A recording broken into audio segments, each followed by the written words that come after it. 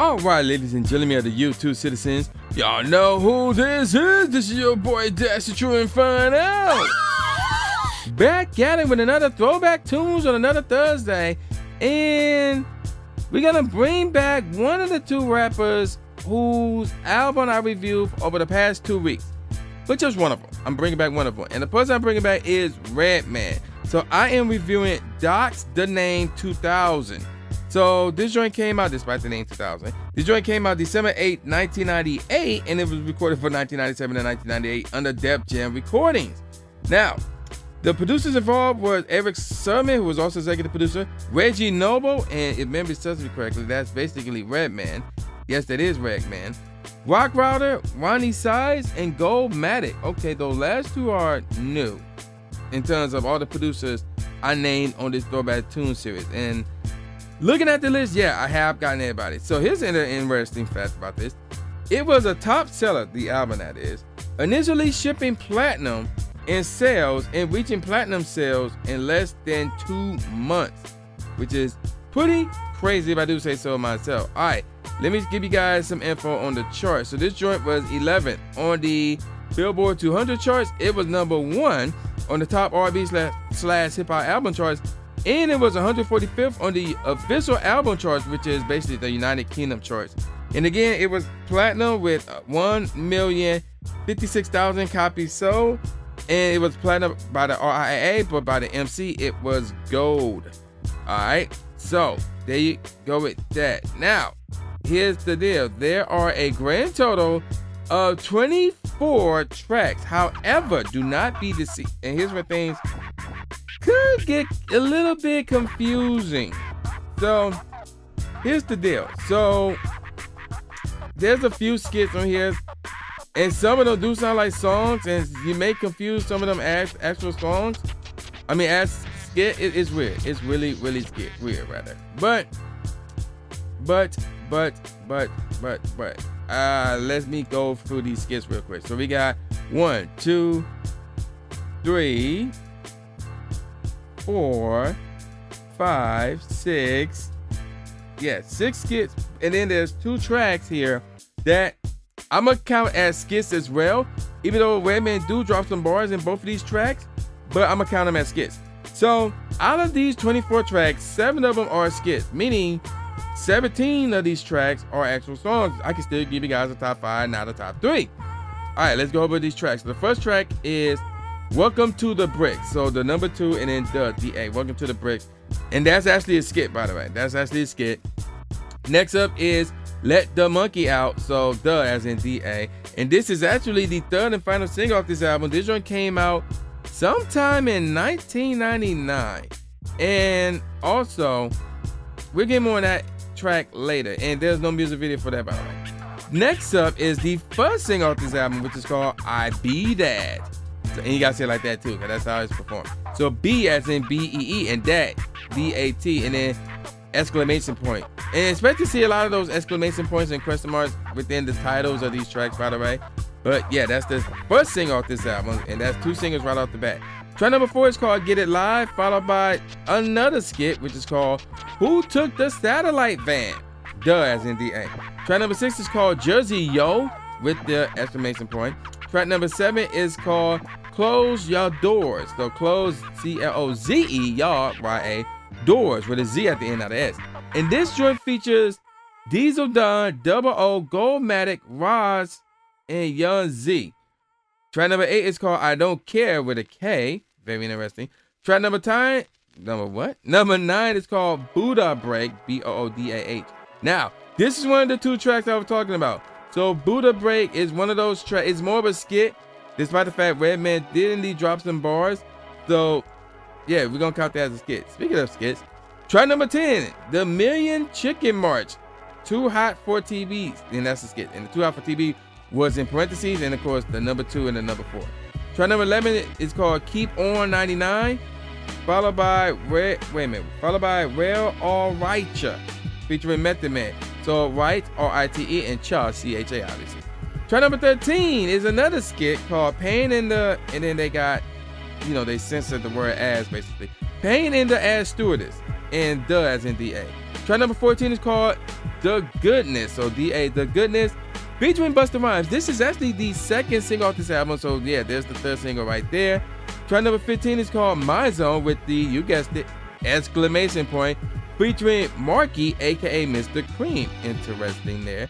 Now, track number 16 is called Da Da Da. Yeah, I'm, I'm this is. So D A and then D A and then D A, capital H, capital H, capital H. Like it's Triple H with delivery here. you get the point.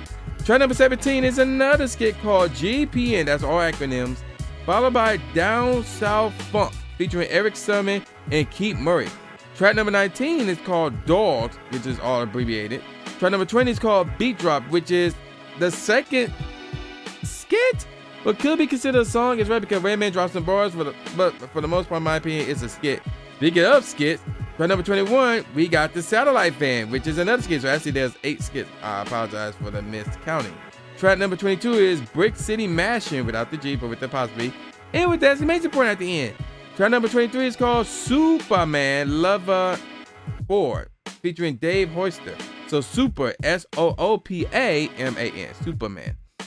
And Lover, L O V A.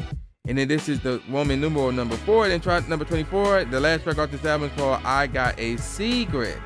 So there's the three E's, S E E C R E T. I'm, I'm. All right, so let's take a look at the first single off this album, which is called I Be That. So this joint came out October 8, 1998. And there's a music video for this album, for this song rather, and it did make the charts. It was 50th on the US Billboard Hot R&B slash Hip Hop Singles and Tracks, and 30th on the US Hot Rap Singles charts as well. And that's pretty much it. Nothing else to say about that single. All right, now let's move on to the next single off this album, which is called The Goodness. So here's a little interesting fact about this goodness, and I have no clue why. First of all, this single came out January 12, 1999. And secondly, the music video does not feature Busta Rhymes. So they cut off Busta Rhymes' part. They didn't mean like he was in the music video. His part in the song was not in the music video at all. I have no clue why, but that's how it is. And yeah, there you go with that. Now let's take a look at the charts. So this joint was 50th on the US on the top R&B slash hip hop on the hot R&B slash hip hop songs charts, and it was ninth on the hot rap songs charts as well. All right, and then the last song, the last single rather, is called "Let the Monkey Out," and this was not number 99th on the hot R&B slash hip hop songs charts. And I have no clue there's a music video in this or not. I'm gonna say no. I'm gonna say no because I didn't see one. So I'm gonna assume that there is no music video for that third single. Alright, so let me give you guys my favorite track off this album from worst to first. And with all of that said, Super Love Ford is the worst track off this album. The tempo is straight, should have been faster. The melody is straight, the bass guitar is cool, the kick is cool, the snare is straight, overall the is straight rather, overall the track is straight. Alright, next up is My Zone. The tempo is cool, melody is lackluster, expect that a lot, but straight. The bass is cool, but needs to be more banging. The kick is straight, the snare is cool, overall the track is cool. Next up is Jersey Yo. The tempo is straight, melody is cool, bass is really cool, kick is cool, same with the snare, overall the track is cool. Next up is I Don't Care. Tempo is cool, the melody is lackluster but straight. The bass is straight, needs way more of it, and it needs to be banging. Kick is really cool, snare is cool. It's like a freestyle vibe a bit here, which is a plus. So therefore the track is cool nevertheless.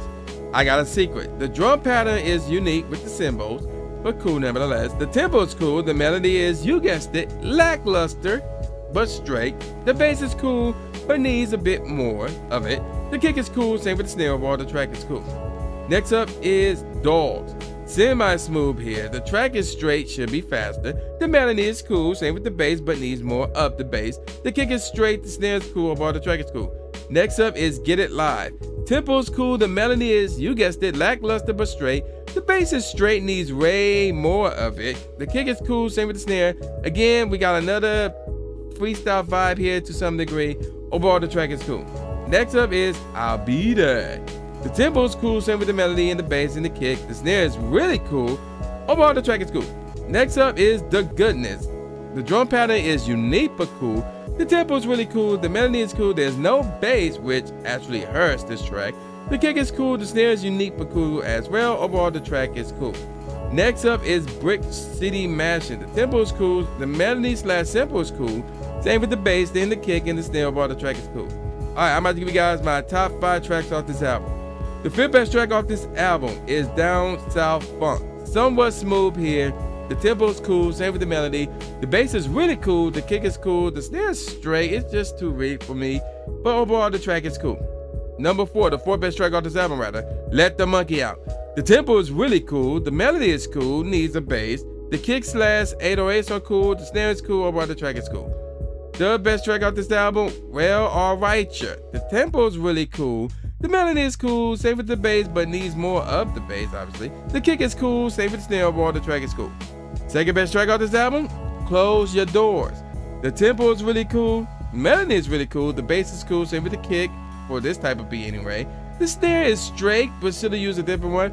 There is potential here, but the track is still cool nevertheless. Alright, and the, the the best track off this album rather is Keep On 99. Semi-smooth track right here. The tempo is cool, same with the melody. The bass is really cool, same with the kick. The snare is just cool. Overall, the track is cool. So yeah, Keep On 99 is the best track off this album, followed by Close Your Doors and All and Well Alright You. Alright, let me give you guys some professional ratings. All Music gave it a 4 out of 5 stars. Christgau's Consumer Guy, I think that's new, gave it an A minus. The Encyclopedia of Popular Music gave it 4 out of 5 stars. The LA Times gave it a 3.5 out of 4 stars. NME and Rap Reviews gave it an 8 out of 10. And the Rolling Stone gave it a 4 out of 5 stars. So, a lot of great reviews here. But what do I think about this album? Okay. Hmm.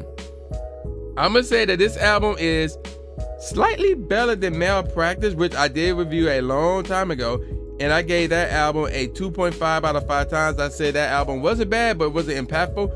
This one, I'm gonna say, was not impa- impactful well, but it had better songs. So I'm gonna give this album. Ooh, what should I give this album? I think I'm gonna give this album a 2.75 out of 5. I recommend you download it, and it'll be up to you on whether or not you should keep it or not. Keep the download. So yeah, 2.75 out of 5 stars. And that will do it for your boys. So I'm gonna call it a wrap. So with all that said, y'all know who this is. This is boy New J Gatsby, aka New Stephen A. Smith, saying peace out, y'all, and I'll see y'all next time. Yeah.